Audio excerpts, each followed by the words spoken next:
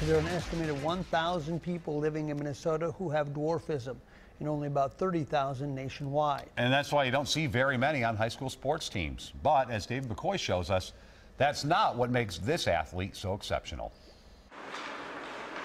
High school is that awkward time in everyone's life when you just want to fit in. But given her size, Svea McNally doesn't really have much of a choice. You guys stop it. Now I'm four foot five and three quarters, so I'm really good at hide and seek. That's a plus.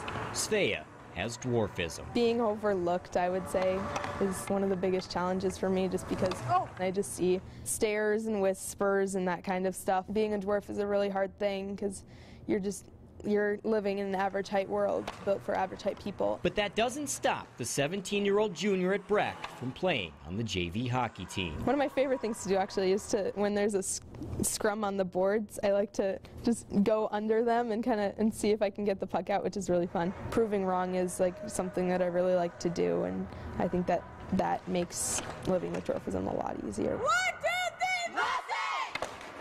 But hockey hasn't always been a source of inspiration. In a game last season, Svea was chasing after a loose puck that was headed toward the other team's goalie.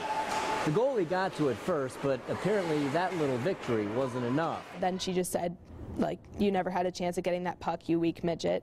Um, and it was just really hurtful. And I kind of, then I just kind of called for a change because I just didn't really know what happened. And it just kind of shook me up. Midget's a very offensive word to little people. Um, it's basically kind of like the equivalent to the R word for those with disabilities or the N word for African Americans. Stop it!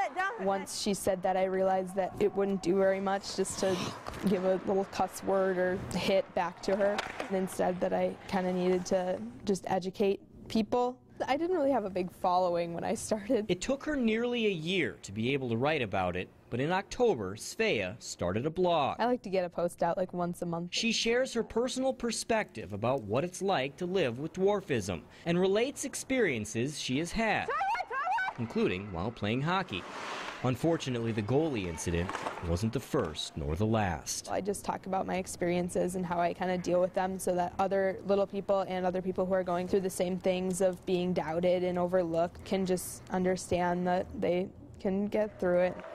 Nice, skate, skate. I was just blown away by some of the posts and things that she's writing. Head away, spam! She's just so eloquent and uh, speaks her mind. She's very strong-willed and outspoken in such a cool way. I am a little angry inside, but I kind of now have learned to channel my anger into because I don't really like being angry.